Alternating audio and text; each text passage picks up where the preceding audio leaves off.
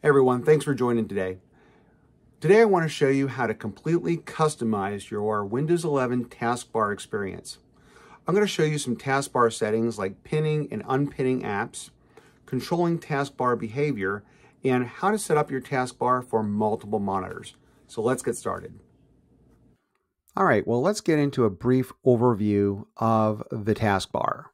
So if you're familiar with Windows 10, you know you've had the taskbars been here for a long, long time, way back to uh, Windows XP, Windows 7. There's always been some kind of taskbar, which is kind of like our control center. Um, it's where we're going to see the apps that we have open. It's, it's going to show us where our pinned apps are, and we're going to talk about some of that in this uh, in this video. So let's start from the the over here on the, the left hand side and let's work our way to the right. This here is our, our informational menu. Um, so when we highlight over this, this is going to be set to your region. If you set up Windows uh, 11 for the first time or if you upgraded, it's going to find your location based on uh, your settings, based on your technically based on your IP address if you allow it.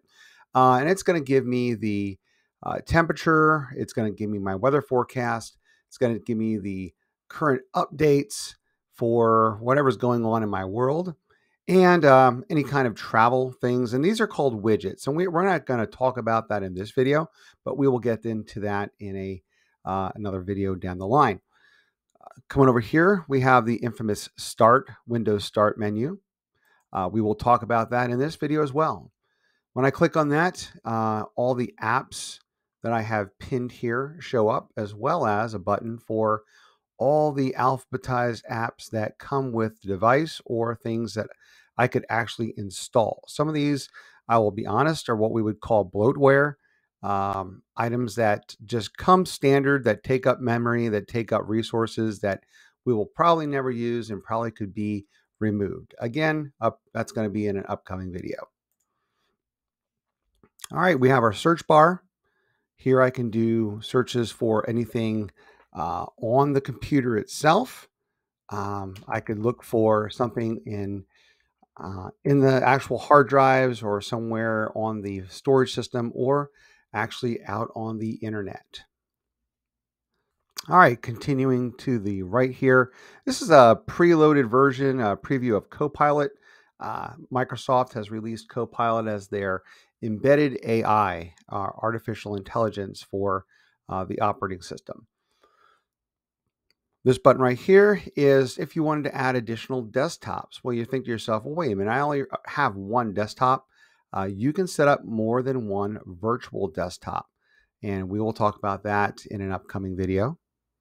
Next to that are Teams. Microsoft Teams is your communication platform of choice for the Microsoft Office 365 series. Um, a lot of businesses use this as well as home users who want to connect with family and friends uh, across states, across the street, or across the world. Here you can see some apps I have open. You can notice that it'll highlight it and I can show it will show me it's open because it's got this little bubble underneath it and it tells me kind of a preview of what's going on in that window. Over this side here, we have our little corner icons. We have the hidden or the extended icons we'll look at later. And we have the icons that are available to us. You see here we have OneDrive. I have my microphone settings. I have my network internet access, my speakers, and over here is my date, time, and communication settings that we discussed in a previous video that we put out a couple weeks ago. All right, so that is a brief overview of the taskbar, uh, a little bit of terminology before we get into the nuts and bolts of customizing the Windows 11 taskbar. So let's talk about pinning and unpinning applications. So the nice thing about the taskbar is that it's going to keep a history of the apps you have open, as well as the ones that are kind of your favorites. So you can see I have YouTube down here, uh, Microsoft Office, Amazon. So how do they get to there to begin with? So I'm going to go over here. I'm going to search uh, for an app that I want to use frequently.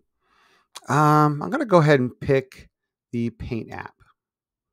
So I'm going to highlight over top of that. I'm not going to click it just yet, but I am going to right click on it. So with not my left mouse button, but my right mouse button brings up a contextual menu, which tells me some things I can do with that specific menu choice. One of them is pin to the taskbar. So I'm going to click that one with my left mouse button. And now I have the paint icon pinned to my taskbar. That will always be there until I unpin it. So what I can do here is I can now click on that without having to delve into the actual menu to look for it. And I can close it.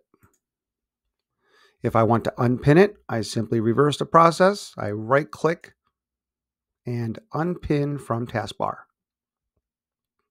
All right, let's talk about the special default icons. Previously on the introduction, I talked about these five icons right here. Well, not so much an icon with search, uh, kind of an entry, little entry bar here, uh, but these are default icons. Now you can manage these. You can turn these off and on. These do not have to be here if you don't like them. Uh, what I can do is I can simply right click on the taskbar anywhere here, go into my taskbar settings, and I can turn on and off Copilot. You can notice that's gone now. The task view, which is now gone. And I can turn off the widgets menu, which is kind of on the other side here. I should have named that properly earlier. That is the widgets menu. We're going to keep that on. We might use that later. Another thing you can do is with the start menu, it's got a hidden feature to this. So I can right click on the start menu and it's going to bring up a list of tasks or um, applications that are more of a system level or more of the um, customization of Windows. For example, Mobility Center, Power Options, Event Viewer, Computer Management, um, File Explorer is probably one that we'll use a lot.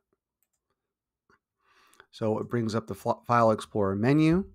I can right click on that again. I can also go into my shutdown or sign out, depending on which I choose to do. Let's go ahead and move over to the right hand side of the screen to the corner icons. So I'm going to again right click on my taskbar, go into my taskbar settings, and we're going to talk about managing those little icons in the corner. So you can notice here I have my OneDrive, my microphone, uh, networking lets me know that I'm connected, speaker, and so forth. Uh, the overflow is right here. So it says show the hidden icons. So these are the icons that are not currently displayed. They're kind of hidden.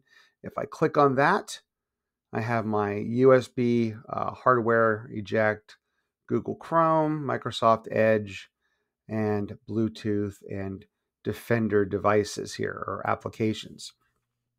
All right. What I can do is I can go to my system tray icons and I can turn these on and off if I want to. So for example, I could say that I don't want to see the OneDrive icon. I could turn that off and now it shows up in my overflow. Let's say I wanted to show my Bluetooth. I could turn Bluetooth on, and now it shows in the front-facing part of the of the tray. So I have a bunch of different options here. Printer devices, Google Chrome, like we said before, Microsoft Edge, I can turn that on. I could turn all these on if I like and just fill this thing up, or I could keep it very limited to only the ones that I use and use the overflow tray as needed. So next we're going to talk about taskbar behavior. So I can change the appearance and the icons, but I can also change the way the taskbar behaves. So I'm going to click on the taskbar settings again. And from here, I'm going to go to taskbar behaviors, scroll down, and here's where I can change the alignment of the taskbar. So if you want more of a Windows 10 appearance, you can click the left selection and you can see that everything now is as it used to be in Windows 10. Or if you prefer the new Windows 11 style, you can keep that centered and everything remains as it was. I can also turn on or off the badges. So the badges basically, and I don't have any to show you here, but for example, if I had unread emails in Microsoft Outlook, it would give me a number or show a little bubble there. Um, I can turn that on or off so I don't see how many unread emails uh, that I have or how many missed notifications I had in YouTube or other um, social media applications. I can also automatically hide the taskbar.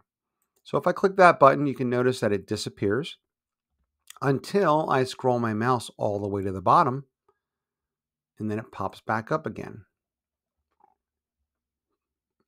So if your desktop computer is configured with multiple monitors, you can manage your taskbar across more than one monitor. So I'm going to go down to my taskbar settings again. And I'm going to scroll down to taskbar behaviors.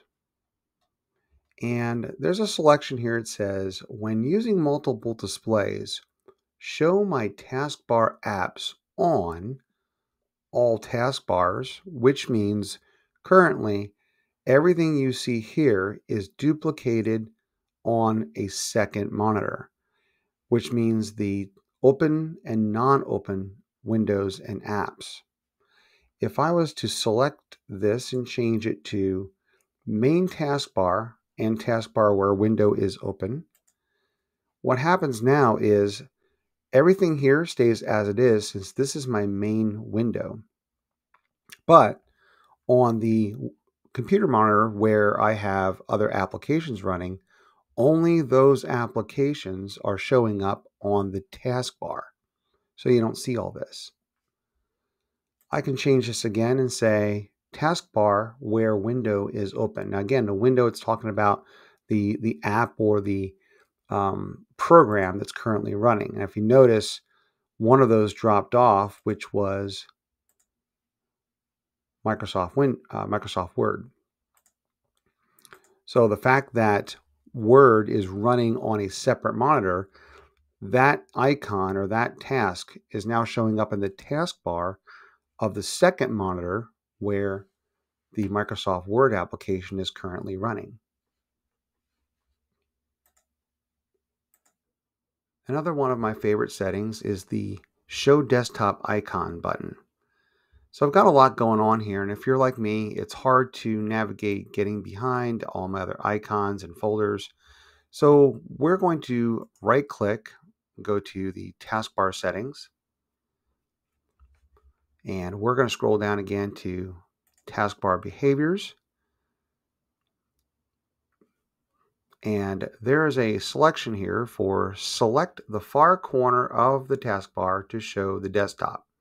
So when we click that button, it's going to be hard to notice, but on the far right hand side, if you keep moving your mouse over, you'll see a little pop-up menu that says show desktop, a little, little line right there.